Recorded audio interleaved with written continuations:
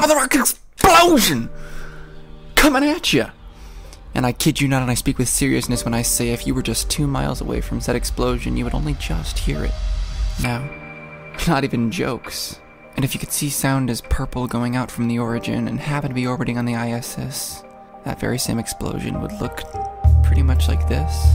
Pretty tiny, pretty much a speck. One hour's passed and now it's here. Startlingly slow sound. It's recently been beaten by a man in a bullet of a car. And if you clap, the places on Earth that clap can no longer escape the rotation of the planet are pretty much here, which is just about everywhere. But even that is uncomparably disproportionate to the speed of light and how slow it is. Okay, Earth, Moon, the fastest speed that anything can go from Earth to the Moon is this 1.3 seconds. That is astoundingly slow. That's not even.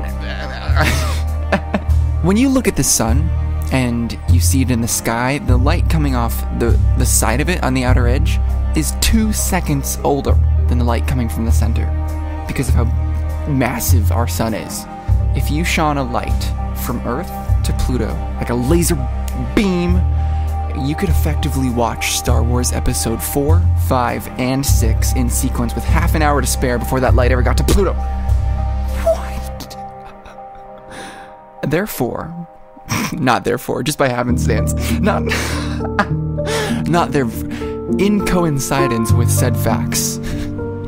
If um, space travel happens to become relevant in our lifetimes and fuel becomes infinitely cheaper, not infinitely, um, pseudo infinitely uh, cheaper, you could take your solo little spaceship and fly it maybe uh, 20, 30 star systems away before you inevitably uh, died.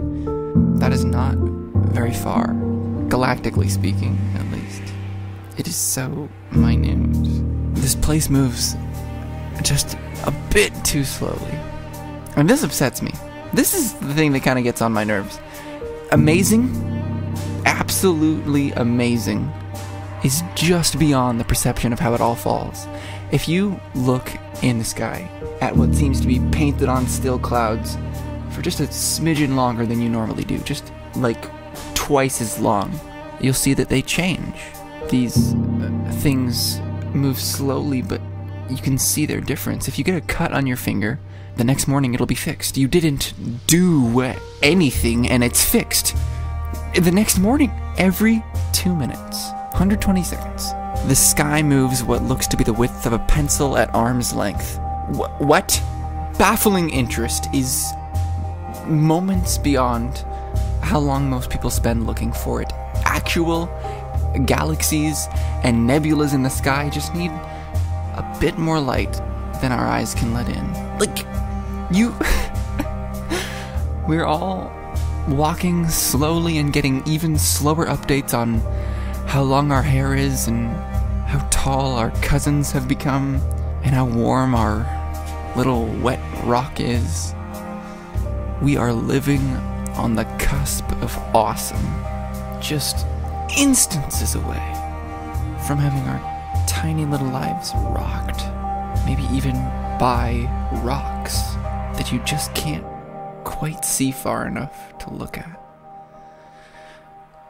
And light moves too slow, living on the razor's edge of awesome. God. It's too close! It's too slow!